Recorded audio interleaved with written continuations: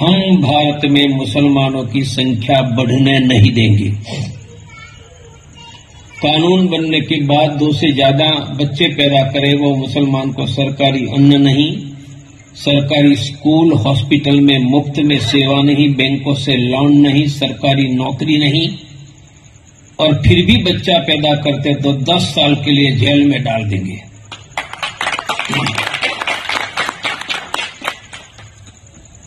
दूसरा, सरकार पर हिंदुओं का कंट्रोल करवाएँगे। कैसे? संविधान संशोधन करेंगे कि ये देश पे prime minister chief minister minister DM collector SP जज देश में हिंदू के अलावा किसी को बनने ही नहीं देंगे। संभव है संभव है। कभी मैं एक ऐलान करता था तो गुजरात में भाजपा का प्रदेश अध्यक्ष को भी मेंबर ऑफ़ पार्लियामेंट की सीट पर हरा देता था। लोग मुझ पर भरोसा करते थे, उन पर नहीं करते थे। उनका नाम शंकर सिंह वाघेला है। भाजपा में पार्लियामेंट लड़ने निकले मैंने हरा दिया था। उनका कि मतदाता, वोटर हमारे साथ थे। भारत में फिर से एक बार आ जाएगा। हमें पीएमसीएम नहीं बनना है।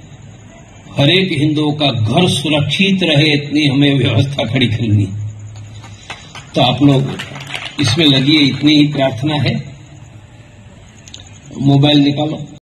हम भारत में मुसलमानों की संख्या बढ़ने नहीं देंगे।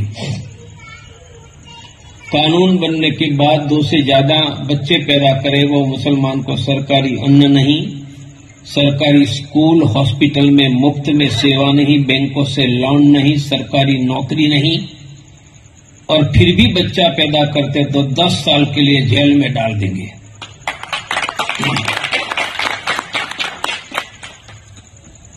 दूसरा, सरकार पर हिंदुओं का कंट्रोल करवाएँगे। कैसे? संविधान संशोधन करेंगे कि ये देश पे prime minister, chief minister minister, DM, collector, SP, जज देश में हिंदू के अलावा किसी को बनने ही नहीं देंगे। संभव है संभव है। कभी मैं एक ऐलान करता था तो गुजरात में भाजपा का प्रदेश अध्यक्ष को भी मेंबर ऑफ़ पार्लियामेंट की सीट पर हरा देता था। लोग मुझ पर भरोसा करते थे, उन पर नहीं करते थे। उनका नाम शंकर सिंह वाघेला है। भाजपा में पार्लियामेंट लड़ने निकले, मैंने हरा दिया था। उनका कि मतदाता, वोटर हमारे साथ थे। भारत में फिर से एक बार आ जाएगा। हमें पीएमसीएम नहीं बनना है।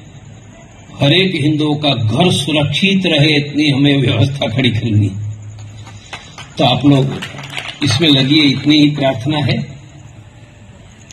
मोबाइल निकालो। हमसे जुड़े रहने के लिए हमारे YouTube चैनल को सब्सक्राइब करें और नई वीडियो की नोटिफिकेशन के लिए बेल आइकॉन को दबाएँ। अगर आप ये वीडियो Facebook पर देख रहे हैं तो लाइक ज़रूर करें और ज़्यादा से ज़्यादा शेयर करें। धन्यवाद।